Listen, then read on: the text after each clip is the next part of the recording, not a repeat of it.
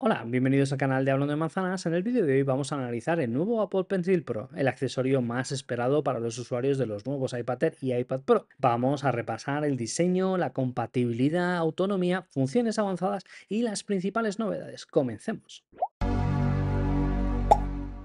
El Apple Pencil Pro mantiene el diseño elegante y minimalista que caracteriza a los productos de Apple que se le llevan lanzando, pero con algunas mejoras notables.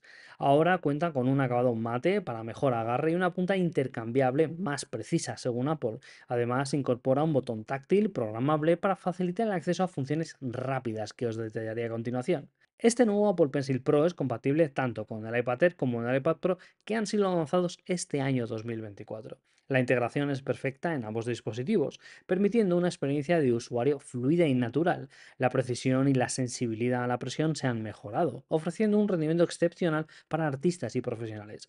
Déjame leer en comentarios si estás pensando en la compra de este Apple Pencil Pro. La autonomía también ha recibido una actualización. Con una sola carga puedes utilizar el Apple Pencil Pro hasta 12 horas. Además, ahora cuenta con carga rápida. Con solo 15 minutos de carga puedes obtener hasta unas 2 horas de uso continuo. La carga se realiza de forma magnética, como se venía haciendo en el borde del iPad, lo que también facilita bastante el almacenamiento. Únicamente tienes que colocarlo en el borde largo del iPad y gracias a los imanes se quedará adherido.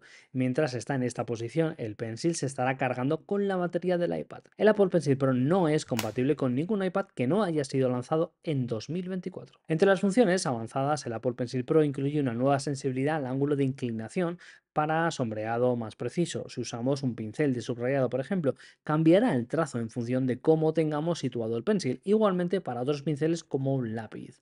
En la punta contamos con un botón de presión, como hay en los AirPods Pro, y aquí podremos abrir directamente la paleta de opciones para cambiar el tipo de pincel, cambiar el color, el grosor del trazo o abrir la goma de borrar. Es bastante práctico en el día a día. También es compatible con una amplia gama de aplicaciones de terceros, ofreciendo herramientas como pinceles personalizados y efectos especiales.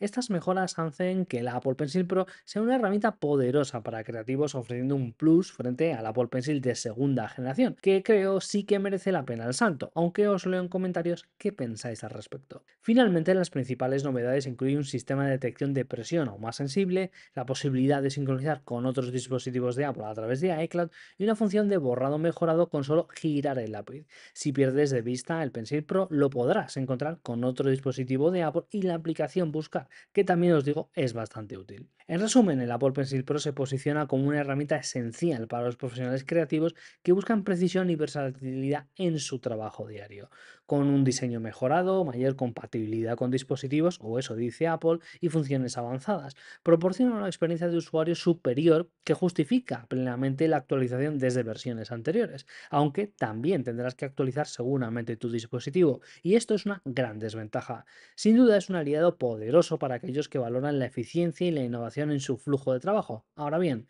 ¿merece la pena la inversión? Personalmente creo que absolutamente. Si tu prioridad es contar con las mejores herramientas del mercado, el Apple Pencil Pro creo que es el mejor stylus que puedes usar en un iPad.